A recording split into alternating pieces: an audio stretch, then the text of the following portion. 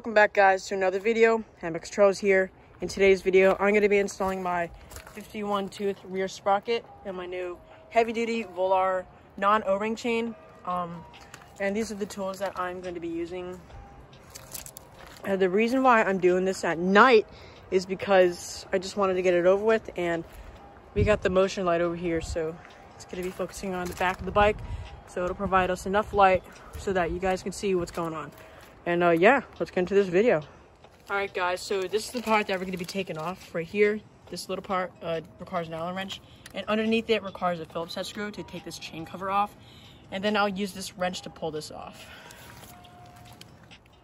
All right, guys, so uh, this is what I'll be using. I will be using a Phillips head screwdriver, this uh, Allen wrench right here, and the wrench right here that I'm gonna be using. All right, so we got the Allen wrench. We're just gonna get this off. All right, so we got this off.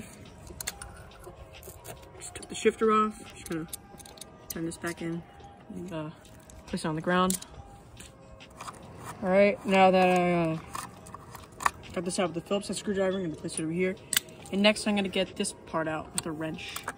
Yes, it's not the right bolt, but it's just, just as good. All right, now we got the chain guard. All right, so now that we got this chain cover off, uh, it's gonna be easier when I install the new chain on. So now that's off, I'm gonna come over to this other side. Uh, we're gonna need a one inch uh, socket with a wrench and then we're gonna take this thing off. So some of these things on uh, bolts on bikes, let's say for example for uh, axles on the rear part of the bike that holds your tire in place, you can't uh, untighten by your hand. So times like these, you're gonna wanna use your foot. Just gets it off just like that. All right, now let's uh, get this axle bolt off. All right, so this is a tricky part. Since my uh, stock chain doesn't have a master link that you just clip into place, I'm probably gonna have to just get something like this, metal, uh, hard enough, and then you just get a hammer, you bang it like that, and you get uh, individually this thing off. Pop this off, slide it out, and then you can put your new chain on. All right, guys, so I just got the chain off, so this is what happened. I had, oh, the thing fell. I had to get the chain off by using a power tool because it was just such a pain to like do the old method with without using a regular chain tool. So after I got that off, I uh, got this brake part off. I just pulled it off. But before you do that, you have to undo this and then you can pull it off. So yeah, got the tire off. Uh, now we're gonna change the sprocket and we should be good. All right guys, so we just got the first bolt out. Um, when you take this out, you're gonna wanna take it out in a star pattern because it just makes it easier and yeah, everyone just does it that way. Um, after you put this on, the Allen wrench, you'll come on the other side with a wrench and um, just pop that loose and what will come out of it is a, use your bolt, your washer, on the other side. And yeah, pretty simple. So let's get these out and put that new sprocket on. All right guys, so you got it so excited to put this new 51 sprocket on. You can see the difference between. Oh yeah, the 51 is way bigger. Gonna have a lot more torque with this bad boy. Let's unbox it and uh, let's get to putting it on. An exact fit. It's gonna look so good. It's gonna be so powerful. All right, let's put these bolts on and install that chain. Well, guys, we finally put it together. It's looking good. 51 tooth sprocket. Uh, we're gonna flip this over to the side. Put this on. All right, now we're gonna come in here and we're gonna put it back on to the bike. Just like that. And once that is on there, you're gonna wanna get your axle bolt. You're gonna slide it through the other side. Right through it. It's probably gonna take a couple times, but after you do that, you get your other thing, you push this washer in, in and it will go through like that. That easy. All right, so now we got that in. Now it's gonna uh, tighten this back up. And now your rear drum brake is back to working. Oh, let me slide that in. Now it's back to working.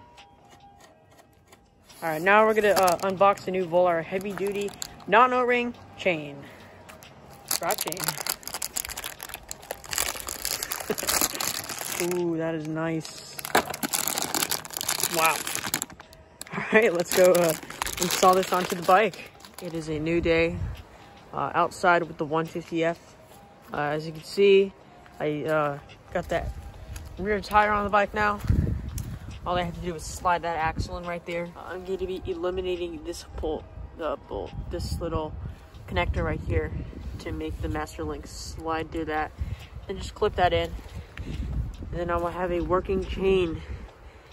And then we'll see how much power this thing has after. All right, so we got Caleb here. He has the chain breaker. And this is how you work one. So you clamp it on there. And then you spin this uh, rod in the back after you got it clamped. And then it pushes the little pins out on the chain that connect the chain. Well, guys, it is now a couple hours later. Uh, just finished off the chain here. Looking good. Heavy duty, non-O-ring with the 51 tooth sprocket. Uh, right now, I just split up the chain. Uh, thanks to some other people who helped me out with that. Uh, now I'm going to put on this master link. I'm going to slide this in right here. There it is. All right, it's all slid in. Yep, into place. Slam that on there. Perfect. And then the master link. So what you do with the master link is you get this part right here. Uh, and you're going to do this clamp it like that and that should be good. Okay, so now that I got the master link on, next I am going to be putting on this part right here. This is how you adjust your chain. And uh, next you're going to put on the washer. And then next you're going to put on your very important nut that goes on this because this is what holds your tire and up. This is what holds your tire and everything in place. All right, so after that is on, you're going to want to pull your chain back to where it's tight enough. Just like this. Just pull it back. Make sure it is even. And then you can uh, adjust your chain. Okay, so after you got all this adjusted, I got mine adjusted to uh, 28. Not that it's important, but that's just uh, how mine needs to be adjusted. after you do that, you're of course you're going to want to tighten your bolt. After you got everything done at the back, everything's tightened up, you got your new chain sprocket on, now you can finish up by putting on your sprocket guard and your shifter. Well guys, that concludes it for today's video. Uh, I finally got that 51 tooth sprocket on there with that new heavy duty chain. Can't wait to be able to ride again with more power.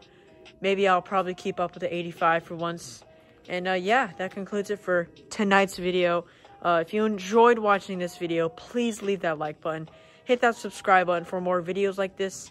And as always, I will see you in the next video. Peace.